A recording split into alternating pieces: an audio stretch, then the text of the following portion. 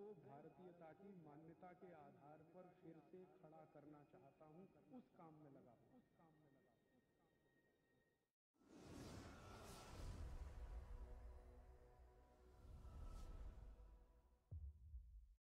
राम जब वन गमन कर रहे हैं तो उस समय उनको बहुत सारे समझाने वाले उनके सहयोगी, उनके मंत्रिमंडल के सदस्य, उनको कह रहे हैं कि आप क्यों वन जा रहे हैं? प्रजा आपके साथ है, पूरा मंत्रिमंडल आपके साथ है। आप कहें तो हम कल आपको राजा बना दें और आपके पिता भी मना नहीं करेंगे। वो दिल से तो यही चाहते हैं कि आप ही राजा बने, लेकिन केकई को वचन दे दिया है।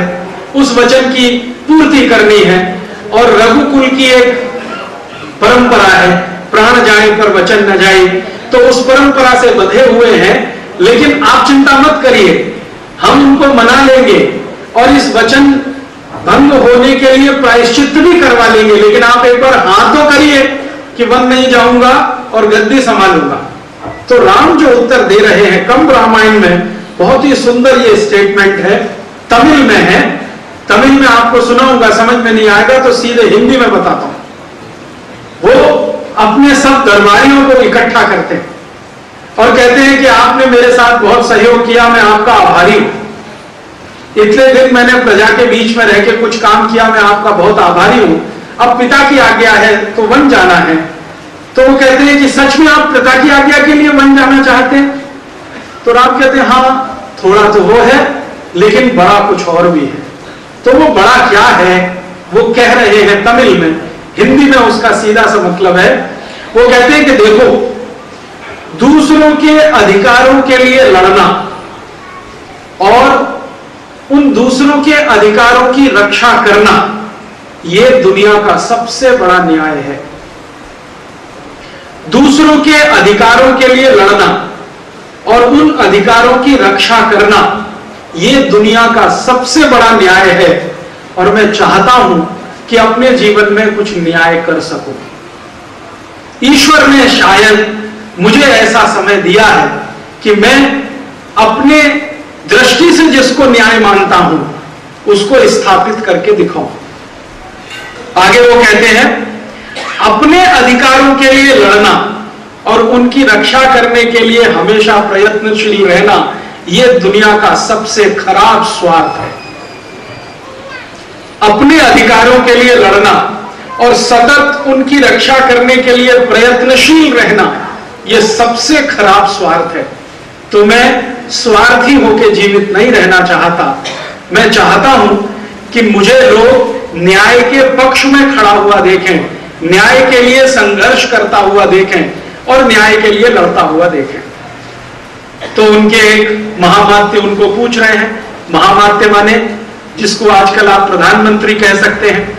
उनको पूछ रहे हैं कि आप वन गमन करेंगे तो ये कैसे होने वाला है कि आप न्याय के लिए लड़ेंगे? और यहाँ राजगद्दी पर बैठेंगे तो ये क्यों नहीं होने वाला है कि आप न्याय करेंगे? ऐसे कैसे होने वाला है कि आप वन में जाएँगे तभी न्याय के लिए? तब राम कह रहे हैं कि देखो, हमारे जो वन है, इनकी हालत बड़ी खराब है। कहानी सुना रहे हैं। वो कह रहे हैं कि इनकी हालत बहुत खराब है। क्या है? इन वनों में बड़े बड़े ऋषि मुनि तपस्या करने के लिए आते हैं, लेकिन राक्षस जाति के कुछ लोग उनको विघ्न डालते हैं। वो उनकी तपस्या पूरी नहीं होने देते। बहुत सारे ऋषि मुनि यज्ञ करना चाहते हैं। राक्षस उनको यज्ञ नहीं करने देते। उनके यज्ञ में विघ्न डालते हैं। उनकी तपस्या में विघ्न डालते हैं।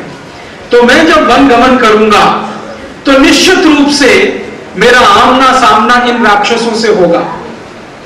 और अगर मेरे हाथों कुछ राक्षसों का अंत होगा तो ऋषि मुनियों के अधिकारों की रक्षा होगी, जो अधिकार उनका यज्ञ करने का और तपस्या करने का है। और तब मैं उन अधिकारों के लिए संघर्ष करता हुआ एक व्यक्ति बनूँगा तो आदर्श की स्थापना कर सकूँगा। तो उनका महामात्य कहता है कि आप अगर यहाँ गद्दी पर बैठते हैं, शासन चलाते हैं तो भी तो यह संभव है। तो उन्होंने कहा कि अगर ये यहाँ गद्दी पर बैठकर शासन चलाने से संबंध, संभव होता तो मेरे पिताश्री ने इन सब राक्षसों का संहार कर दिया होता। मेरे पिताश्री इतने वर्षों से राजा हैं और छोटे मोटे राजा नहीं, चक्रवर्ती राजा हैं। तो मेरे पिताश्री इतने वर्षों से हैं, फिर भी राक्षस इन ऋषि मुनियों को परेशान कर रहे हैं। और यह बात बहुत अच्छे से समझ में तब आती है जब विश्वामित्र, जो उस जमाने के बहुत महान ऋषियों में एक हैं, वो आते हैं दशरथ के पास राम को मांगने के लिए कि भाई अपना पुत्र दे दो, जरा मुझे अपना यज्ञ संपन्न कराना है और राक्षस जो विघ्न डाल रहे हैं, उनका अंत करवाना है। तो राम कह रहे हैं कि अगर मेरे पिता में ऐसा तेजस्विता होती तो इन राक्षसों को तो अब तक समाप्त कर दिया होता पिता कभी जाते नहीं गद्दी छोड़कर। वो राजमहल में ही रहते हैं। और राक्षसों को मालूम है कि इनकी शक्ति राजमहल तक ही सीमित है। इसलिए वो जंगल में जो मन में आता है, वैसा दुर्व्यवहार ऋषियों के साथ करते हैं। तो वो अपने मंत्रिमंडल को संयु संतुष्ट करते हैं कि देखो, मैं जब वन पहुंचूँगा, तभी यह संभव है। यहाँ राजमहल में रहकर संभव नहीं है। तो एक दिन महामात्य फिर, माने एक क्षण के बाद फिर महामात्य कहते हैं कि मुझे ऐसा लगता है कि आप अपनी सेना को आदेश करें। आपकी सेना, माने अयोध्या की सेना, आप आदेश करें, ये जंगल में जाएगी और सब राक्षसों का काम तमाम कर डालेगी। तब रामचंद्र जी का दूसरा स्टेटमेंट आप सुनिए, और वो उनकी मर्यादा पुरुषोत्तम होने की छवि को और ऊँचा बनाता है। वो क्या कह रहे हैं? बहुत अच्छी बात वो कह रहे हैं। वो ये कह रहे हैं कि देखो या महल में रहते हुए मैं शासन करूँगा तो वो शासन सुख और सुविधाओं से पूरा भरा होगा। सुख और सुविधाओं से पूरा भरा होगा। और जब राजा सुख और सुविधाओं में डूबा हुआ हो तो प्रजा के कष्ट का अनुभव नहीं कर सकता। राजा, जब सुख और सुविधा में डूबा हुआ हो तो प्रजा के कष्ट का अनुभव नहीं कर सकता।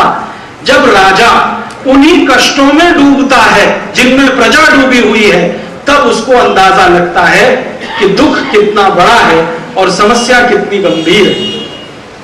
वो कह रहे हैं कि यहाँ मैं रहूँगा, राजगद्दी पर बैठूँगा, अच्छे पलंग पर सोऊँगा दास दासियाँ मेरी सेवा में रहेंगे तो ये सारा सुख सुविधा मुझे दुख का अनुभव नहीं होने देगा। मुझे अगर प्रजा के दुखों का अनुभव करना है तो उनके बीच में जाके उनके ही तरीके से रहना होगा, तब मुझे अंदाज़ा लगेगा कि मेरे राज्य की प्रजा कितने दुखों का सामना कर रही है। ये दूसरा स्टेटमेंट है, जो उनके मर्यादा पुरुषोत्तम होने की छवि को और ऊँचा कर देता है। पहली बात कि दूसरों के अधिकारों के लिए लड़ना और उसके लिए संघर्ष करना यही न्याय है। अपने अधिकारों की रक्षा करने के लिए प्रयत्नशील होना दुनिया का सबसे खराब स्वार्थ है।